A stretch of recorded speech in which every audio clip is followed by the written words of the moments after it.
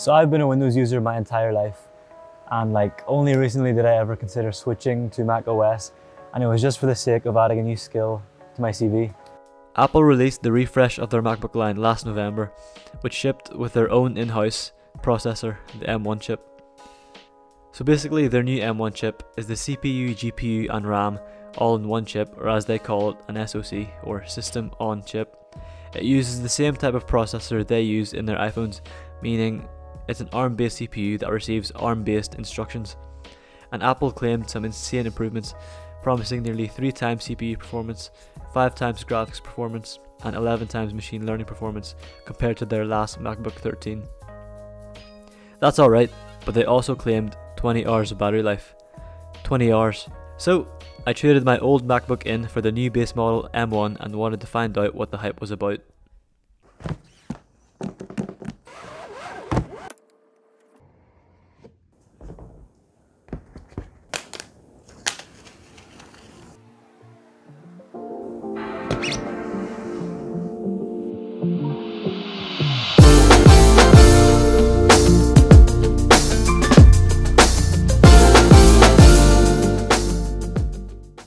Here it is, the M1 MacBook Pro 13 inch. It looks the exact same as a previous generation MacBook Pro 13. In fact, you probably wouldn't be able to tell them apart if they were right beside each other. And the only real differences are the new M1 chip, a slightly larger battery, better so-called studio quality mics, and that's it. Now, I've been using it for a little over 3 weeks as my daily driver, and here's what I've got to say. The MacBook Pro line without a doubt has the best speakers in any laptop, with a 16 inch at the top and a 13 inch just below it. Nothing even comes close, the bass, the clarity, the highs, mids and lows, even at high volumes, there's basically no distortion. Here's a quick speaker test.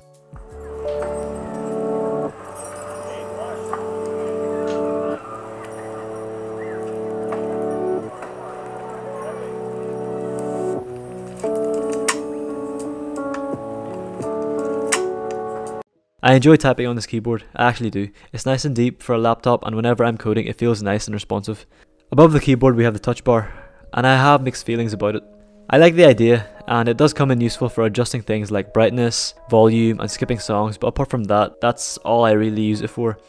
Beside it is the escape key and fingerprint sensor, that also doubles as the power button. The fingerprint sensor is great and fast, like really fast, but the star of the show is the trackpad. I love it. It's the best trackpad on any laptop out there, hands down. Like the gesture control, how it feels, the vibration motors. So how does it actually perform? In one word, unreal. Genuinely unreal. So there are three types of applications on these new M1 chips.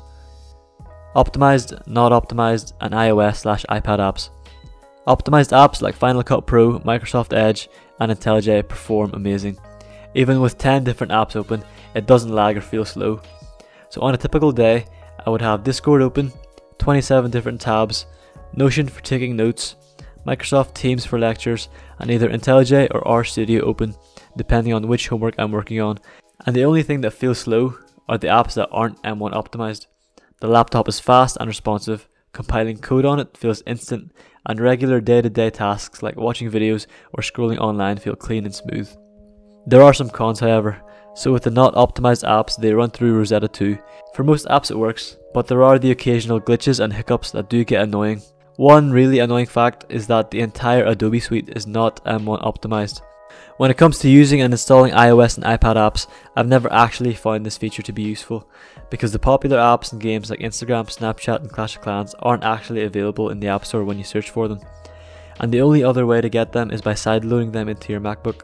Overall, the Apple claims were true, this new M1 chip outperforms their Intel counterparts in almost every way, and we can only really expect that this will get better over time as developers optimize their apps for the M1.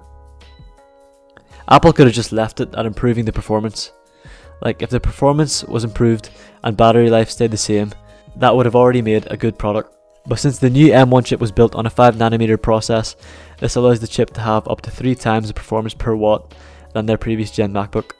What does this actually mean? Well, Apple claimed that you can get up to 20 hours of screen on time on the MacBook Pro, I haven't tested this out yet, but I can tell you that the cycle count of my current MacBook is only 3, meaning in my thorough testing from when I received the MacBook up until now, I've only been able to drain the battery completely 3 times.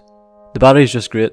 I went on a 4 hour road trip a couple of weeks ago where I used Premiere Pro, After Effects and 30 different tabs to edit my first video and by the end of the 4 hours of an extremely intense workload, the battery percentage was at 27%. That is unreal, especially considering the apps weren't M1 optimized and therefore take up more processing power.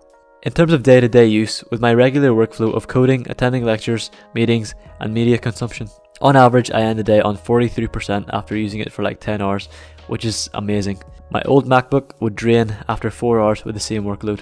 Depending on what you do, the M1 MacBook Air might actually be better for you. The Geekbench benchmark shows that they actually perform similarly.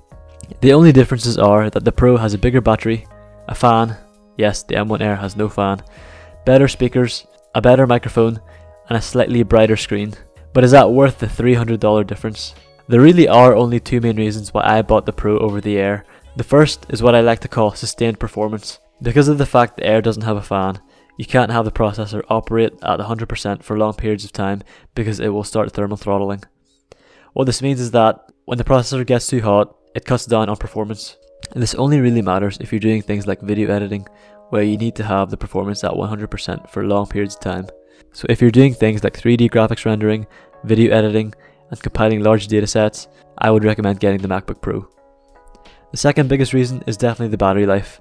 Like depending on how you use it, you could go days without charging the battery. So if you're someone who likes to travel or use your laptop a lot unplugged, I would definitely recommend getting the Pro over the Air. But in terms of long-term longevity, the MacBook Air is actually better. Because of the fact there are no fans, this means that there are no mechanical moving parts and dust doesn't get into your system. At the end of the day, for the average student or person, the best laptop to buy would probably be the M1 MacBook Air. It's a great laptop for trying to get into the Apple ecosystem and it by far outperforms any laptop out there with the same price. Now don't get me wrong, the MacBook Pro is a great laptop it has everything the MacBook Air has, but with better battery life, slightly better performance and features. But I don't know if it's worth an extra $300 for the majority of people.